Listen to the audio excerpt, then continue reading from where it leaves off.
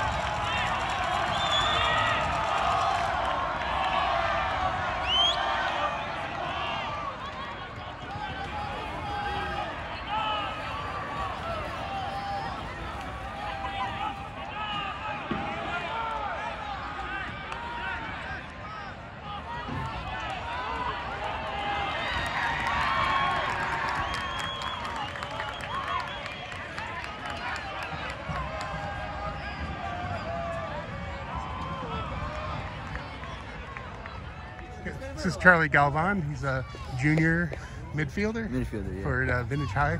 Scored the um, what ended up being the winning goal. Um, put Vintage up two nothing, uh, and uh, it's about six minutes left. What, were you, what was going through your mind at that point? Uh, I was very uh, excited to get the win with my uh, team. We worked very hard for this uh, win. Uh, we've been uh, working very hard in practice, trying our best every day. Uh, we just keep on going. Every, it, it's one nothing at that point though, and you didn't feel like you had in the bag. Huh? yeah, yeah. Uh, they were like uh, very, very motivated to tie up the game. So I, uh, they needed someone to step up. So, yeah. What happened on that play? Do you remember? Uh. I uh, made a run behind the ball, behind the uh, defensive line, and then I uh, received the ball and shot it. Who, who uh, gave you the pass? You remember? Uh, his name is Sergio Hernandez. Sergio Hernandez. Yeah. Oh, great. Is he a junior as well? or- Yes.